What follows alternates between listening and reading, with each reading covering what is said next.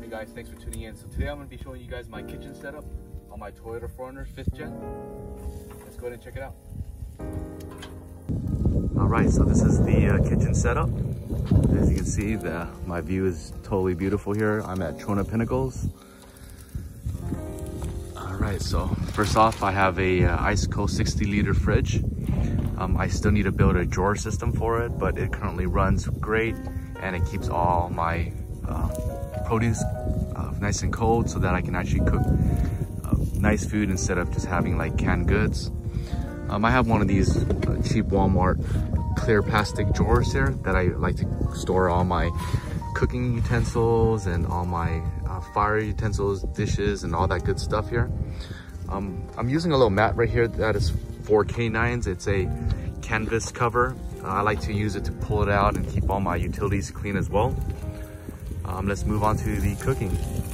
So I'm using a, a Detours of Maine tire carrier and I went ahead and added a front runner table. I have videos on how I did this as well, but it holds my table really well. And I'll drop a link to all my cooking utensils and supplies that I purchased off of Amazon. As I'm making some peppers right now. I'm heating up some water for coffee.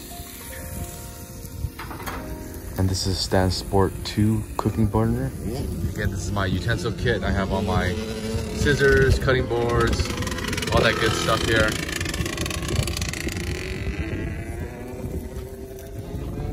And of course a WaterPORT so this is great to wash your veggies, to do any cleaning that you need to do. That's how it works. It's great to have water whenever you're traveling. It just makes cleaning up a lot easier. And since I've already cut up some peppers, I'll show you guys how I dispose of trash.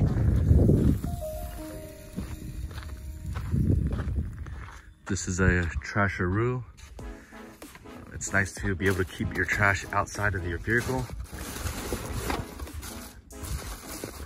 You can dump it at like a gas station and such. So this is my trash. Make sure you guys pack in and pack out all your goods. Once you're done with the Trasharoo, it just covers up.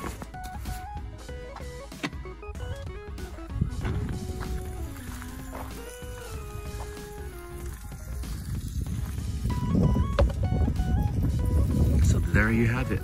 Um, I guess one more thing as well is I have a, uh, mount right here where I, I just like to keep all my paper towels to keep everything really accessible when I need it. I'm getting ready to make some coffee and of course tend to the fire here.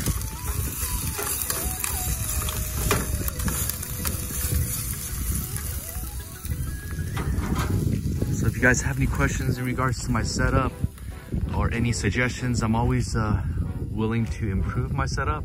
I do, I am working on a drawer system next, but besides that, everything works out pretty well for me. So far, cooking is all done on the back of my rig. And uh, again, trash is right there as well. Water is right there. You know, let me know, drop a comment. If you have any comments, any questions, let me know.